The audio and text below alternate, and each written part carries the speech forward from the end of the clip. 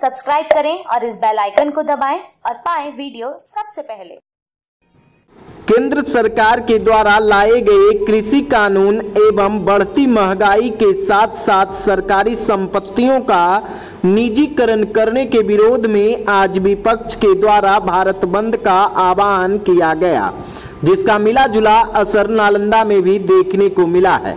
नालंदा जिला मुख्यालय बिहार शरीफ में भी विपक्षी दलों के कार्यकर्ताओं के द्वारा सरकार के खिलाफ जमकर नारेबाजी और प्रदर्शन करते हुए बंद को सफल बनाया गया। गौरतलब हो कि केंद्र सरकार के द्वारा लाए गए कृषि कानून के विरुद्ध में लगभग 300 दिनों से आज भी किसान सड़कों पर हड़ताल कर रहे हैं। इतना ही नहीं, सरकार के द्वारा लगातार सरकारी संपत्तियों का निजीकरण किया जा रहा है। और बेरोजगारी की भी बेतहासा वृद्धि हो रही है। इन तमाम मुद्दों को ध्यान में रखते हुए सभी संगठनों के किसान मोर्चा के तत्वाधान में विपक्ष के द्वारा आज भारत बंद का आह्वान किया गया, जिसे उनके कार्यकर्ताओं के द्वारा सरकार का विरोध जताते हुए सड़कों पर उतरकर इस बंद को सफल कराया गया। इस मौके पर विरोध प्रदर्शन कर रहे कार्यकर्ताओं ने कहा कि केंद्र की भाजपा सरकार गरीबों की सरकार नहीं है।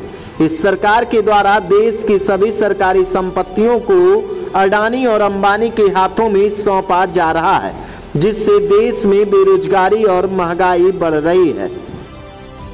पूरे हिंदुस्तान के अखिल भारतीय किसान संघर्ष मोर्चा के द्वारा जो नरेंद्र मोदी के द्वारा तीन काला कानून किसानों के खिलाफ लाया गया है बिल, उसके विरोध में जो लगातार करीब 300 दिनों से यह आंदोलन उन लोगों का चलते आ रहा है, सरकार के कान पर जू तक नहीं रेंगती है। कहीं न कहीं ये सरकार का जान जानबूझ करके किसानों, अन्नदाताओं को तंग करने का जो है प्रोग्राम इन लोगों का पहले से बनाया हुआ है। उसी के खिलाफ उन लोगों ने बंद का आह्वान किया था। हम लोग बिहार में भी महागठबंधन के सभी साथी कांग्रेस, आरजेडी, सीपीआई, सीपीएम, जो भी हमारे सहयोगी दल हैं, जो भी लोग अभी दुकान खोले हुए हैं या अपनी प्रतिष्ठान, मैं अपनी ओर से और महागठबंधन की ओर से उनसे यह आग्रह करता हूँ कि किसानों के सम्मान में, चूँकि अन्न का ज़रूरत आपको भी है, आज अगर किसान अन्न उगाना छोड़ देंगे तो हम लोग भूखे मरने को विवश हो जाएँगे। तो कहीं न कहीं इन सब बातों को लेकर के आप लोग स्वेच्छापूर्वक अपनी अपनी प्रतिष्ठानों को बंद रखें और किसानों का सम्मान करें। बंद करें, बंद दोस्तों सब्सक्राइब करें और इस बेल आइकन को दबाएँ और पाएँ वीडियो सबसे पहले।